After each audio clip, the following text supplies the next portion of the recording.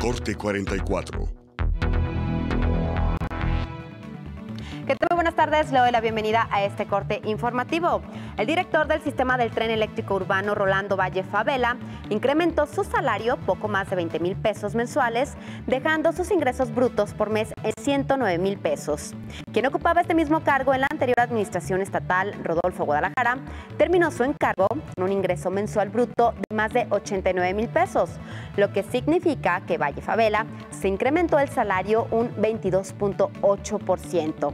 Esto a pesar de que el CITEUR opera en números rojos, como lo dio a conocer el gobernador Enrique Alfaro Ramírez en el mensaje de 10 minutos difundido a través de sus redes sociales para justificar el incremento en las tarifas del transporte público.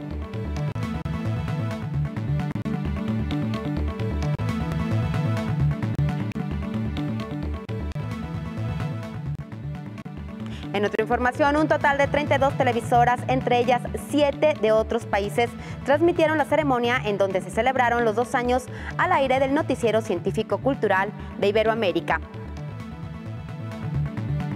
Y ahora en este tercer año estamos anunciando la versión radiofónica eh, del NSC eh, conducida por Amaranta Soto, quien me antecedió en el uso de la voz, y, es una iniciativa que hemos eh, trabajado al darnos cuenta que la radio llega a lugares donde la tele todavía no llega, eh, que la radio tiene un público específico muy importante, que según los estudios de consumo de medios en México, la radio aumentó en realidad 15 minutos su consumo promedio en el último año, mientras que la tele disminuyó esa misma cantidad de minutos. Hasta el día de hoy, el noticiero científico y cultural iberoamericano difunde sus contenidos a través de sistemas de radiodifusión, canales de televisión abierta y transmisión directa satelital, así como plataformas web TV y aplicación para dispositivos móviles, tanto para Android y Apple.